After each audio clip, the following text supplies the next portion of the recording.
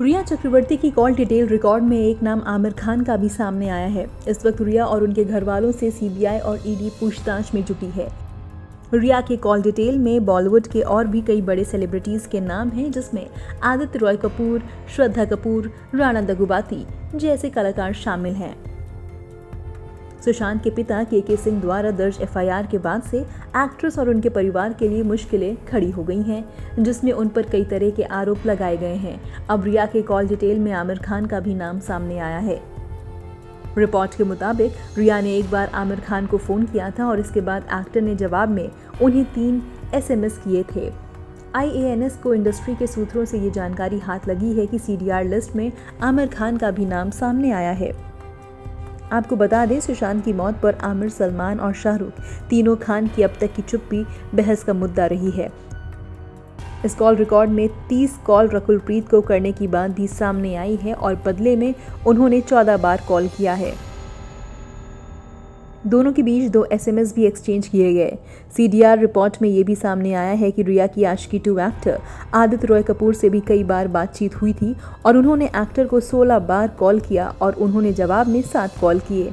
इसके अलावा उन्होंने श्रद्धा कपूर को भी तीन बार कॉल किया और बदले में उन्होंने दो बार किए थे।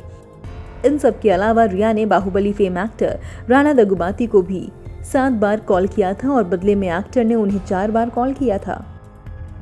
सरोज खान अब इस दुनिया में नहीं रही। रिया की कॉल डिटेल में उनका नाम भी है, जिन्हें पाँच बार एक्ट्रेस ने कॉल किया था। सीडीआर डिटेल में महेश भट्ट के साथ बातचीत की भी बात सामने आई है। रिपोर्ट के अनुसार रिया चक्रवर्ती ने 8 जून से 13 जून के बीच महेश भट्ट से कई बार बात की थी। इनमें से नौ कॉल आउटगोइंग थी, बाकी इनकमिंग।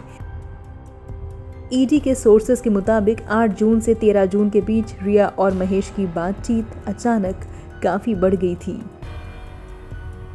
वहीं आपको ये भी बताते चलें कि सुशांत सिंह राजपूत केस को बिहार से मुंबई ट्रांसफ़र करने के लिए सुप्रीम कोर्ट ने दोनों पक्षों से जवाब मांगे थे। सुप्रीम कोर्ट में बिहार सरकार ने और रिया चक्रवर्ती की तरफ़ से लिखित में जवाब दिया गया है। वहीं अब सुशांत की फैमिली की तरफ़ से जवाब दिया गया है। उन्होंने अपने जवाब में इन बातों को ज़िक्र किया है। हमारे सहयोगी चैनल टाइम्स नाउ के पास सुशांत सिंह राजपूत की तरफ़ से लिखित जवाब में क्या कुछ कहा गया है, इसकी कॉपी है। सुशांत के परिवार का कहना है कि जुरिस्डिक्शन पर सवाल नहीं उठाया जा सकता है। इसके साथ ही उन्होंने कहा कि सीबीआई जाँच पूरी तरह से वैध है। सुशांत सिंह राजपूत के परिवार ने अपने जवाब में आगे कहा कि पटना में कार्रवाई के पीछे कारण है। मुंबई पुलिस द्वारा अभी तक कोई कार्रवाई नहीं की गई है। मुंबई पुलिस पर कोई विश्वास नहीं है। वहीं सुशांत सिंह राजपूत की फैमिली के वकील विकास सिंह का कहना है, मैंने हमेशा मुंबई पुलिस को प्रोफेशनल फोर्स कहा है, लेकिन किसी कारण से इस मामले में मुंबई पुलिस पूरी तरह से गलत दिशा में चली गई है, इसलिए परिवार को पटना पुलिस से संपर्क करना पड़ा। आपको बता दें, सुशांत सिंह राजपूत की मौत के मामले में रिया चक्रवर्ती ने सुप्रीम कोर्ट में याचिका दी थी कि केस को बिहार से मुंबई ट्रांसफ़र कर दिया जाए। तो वहीं 11 अगस्त को इस केस की सुप्रीम कोर्ट में सुनवाई हुई थी। ब्यूरो रिपोर्ट, नव भारत टाइम्स।